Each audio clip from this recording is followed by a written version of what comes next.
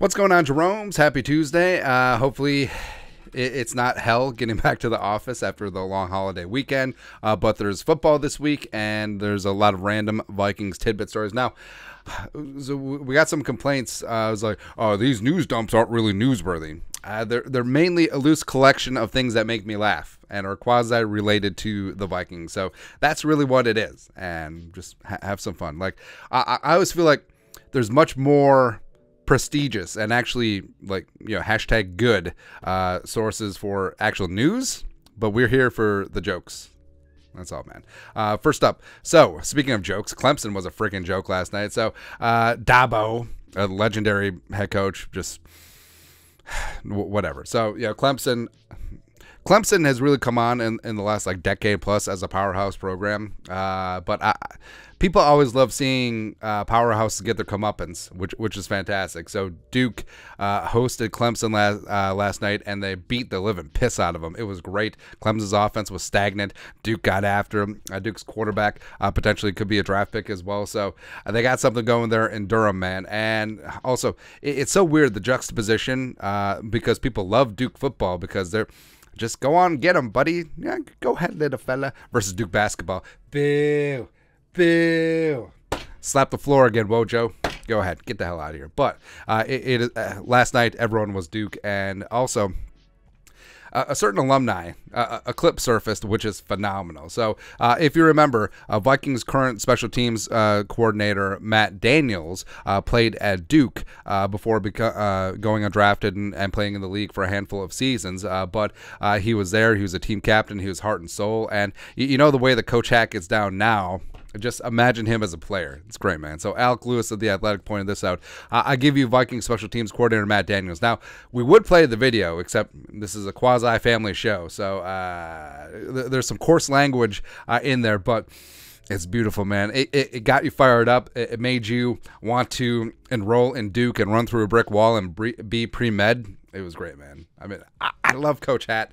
Coach Daniels is fantastic. Uh, for my dollars to donuts, I think that he will be a head coach uh, in the NFL someday. Uh, I think that he is uh, that good, man. And the Vikings are very lucky to have him right now. Uh, speaking of lucky to have, is uh, Vikings cornerback Byron Murphy Jr. And Andrew Krammer did up a very good long form piece over the holiday weekend on Murphy, the new Vikings cornerback. and he tweeted this out this spring.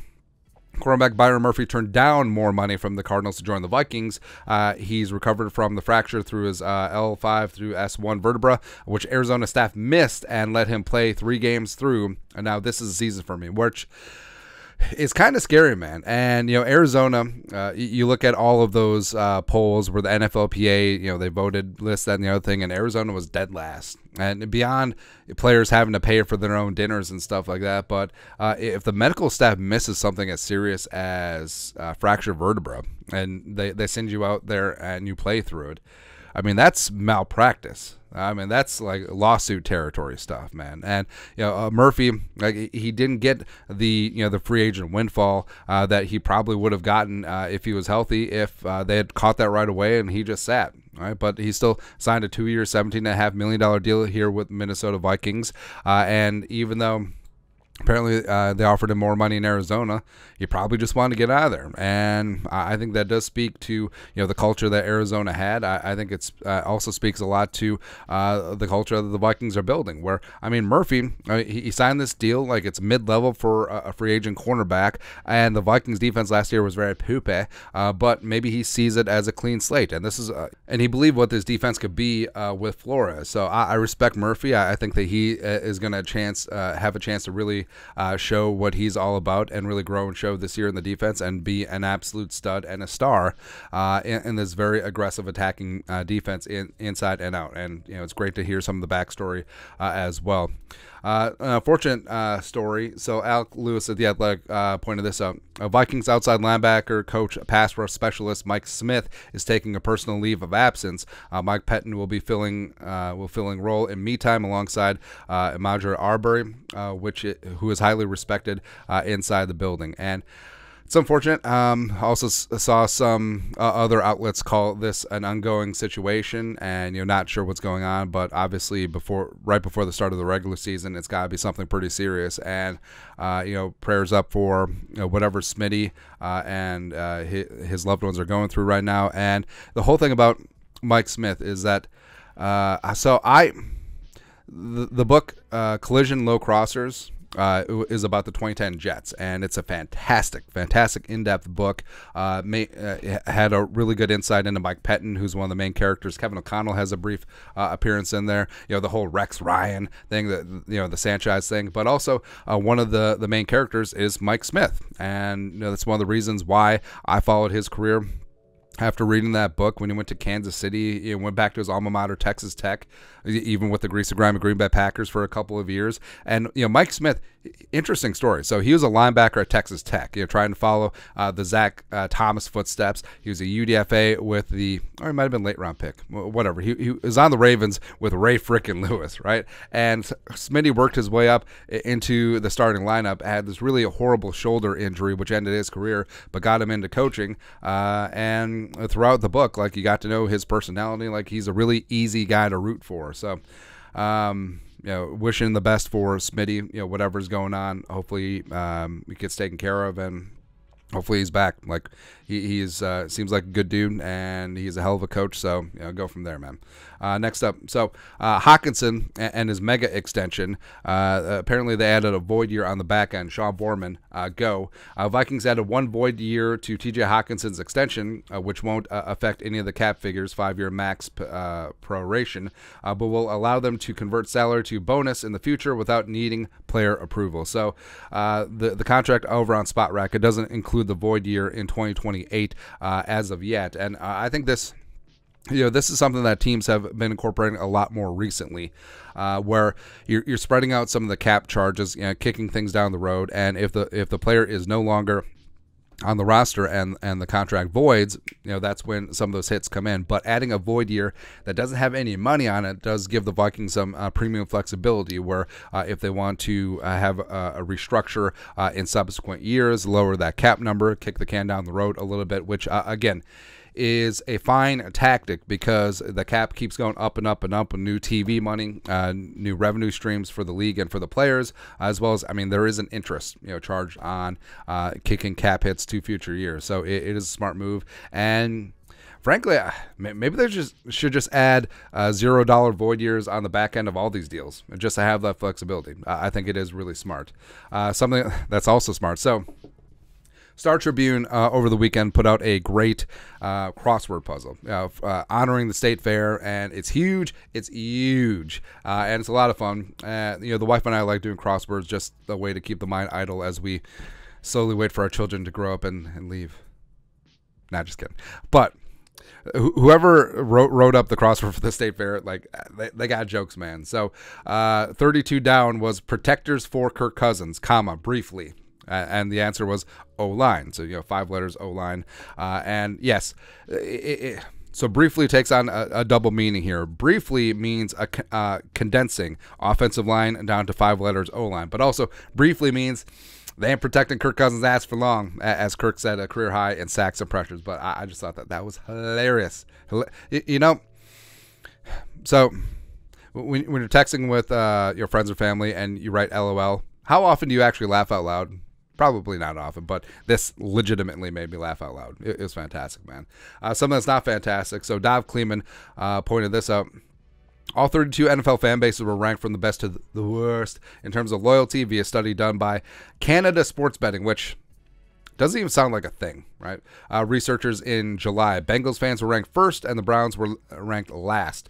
Uh, so the Vikings uh, checked in at number seven uh, in terms of you know, most loyal fan bases. The the Bengals, Eagles, uh, Niners, Bills, Jaguars, Chiefs, Vikings, all, all up there. It's perfectly fine. Uh, you know who's down near the bottom? The Packers and the Bears. It's delightful. It's good times. Good times. opposite of good times. So Uh, the wife and I are fans of the Jack Ryan show uh, on Amazon Prime, starring uh, John Krasinski, Jim from The Office as Jack Ryan, and uh, yeah, my my dad was a, a, big Tom Clancy guy as well. Uh, so we actually have like first edition. Like, yeah, that, that's my wealth. First editions of Tom Clancy books. That's great. But I'm more of a you know listener audible guy, so gotten all the Tom Clancy, Jack Ryan novels, listening to them in chronological order, and they're great. Uh, they're fantastic. But recently got to the one, uh, The Sum of All Fears, which was turned into a Ben Affleck movie. Uh, it deviates quite a bit from the source material. I, I don't want to be one of those people who's like, well, the book was way better than the movie. But it is. Now, there's a big time problem here. Big time problem. So the book came out in 1991, and Tom Clancy, uh, as you may know, uh, was in the running to buy the Vikings in 1998, and everything was signed, sealed, and delivered. But then Homeboy got divorced. and it took him out of the running, which is unfortunate because I think Tom Clancy would have been a great owner. But uh, the Vikings unfortunately got Red McCombs. Mm. But you know, McCombs eventually led to the Wilfs, and the Wilfs are fantastic owners, so maybe things worked out the way that they're supposed to work out. Anyways, in this book, a so if you see in the movie uh, a, a neo-Nazi try you know has has an A bomb, sends it to America, and tries to get Russia and the United States to uh, have a nuclear war, all that stuff. Now the book is, is sort of. Uh, uh, the book sort of sticks to that uh, to that premise, but in the movie it's a it's a you know it's a championship football game. Obviously they didn't get the rights to NFL, but in the book Tom Clancy writes about the NFL and the terrorists in the book they bomb the Super Bowl.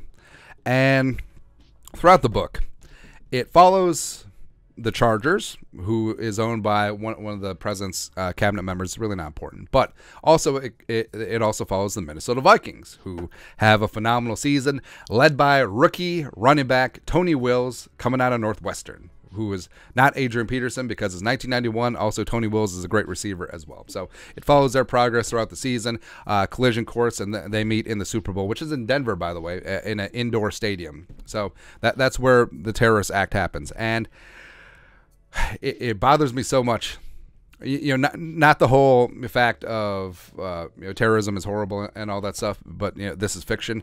But of course, of course, being a Vikings fan who are 0 4 in Super Bowls, yeah, the Vikings and the Chargers, they both make it to the Super Bowl. Both fan bases, by the way, uh, have never enjoyed uh, a Super Bowl success. Uh, the the Chargers lost the Super Bowl to the Niners like in the in the mid 90s. Um, Steve Young threw six touchdowns. Shanahan was the OC. Anyways, the so both fan bases have never tasted that sweet, sweet success, right? And the Vikings in the Super Bowl were holding serve. They're up 14 nothing. Uh, Chargers clawed a touchdown back, so they're up 14 7, and then the device went off. So the Vikings had the best chance to win a Super Bowl, and then ish happens. I mean, come on, man. I mean, we, we can't even win the Super Bowl in, in fiction. It's ridiculous. It's ridiculous, man. But Tom, Tom, Tom Clancy, you were the chosen one, man. But I digress. Anyways, uh, that's I, I, guess that's it. Uh, that's the Vikings news dump for Tuesday. Uh, let us know your thoughts on our thoughts in the comment section below. Subscribe for daily Vikings takes. Want to support the work? Put a little something in the Venmo. But to next time, Skol Production Value.